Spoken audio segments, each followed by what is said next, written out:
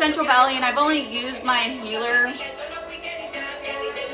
probably about four times since not living in the Central Valley. But the air quality is so much better here than it is in Central California. Because we're between we're between mountains over there. Everything's stuck in there. Considered the armpit of California, so. Hello, un. usually have more people on here. I don't know if the timing's not good. I went too late.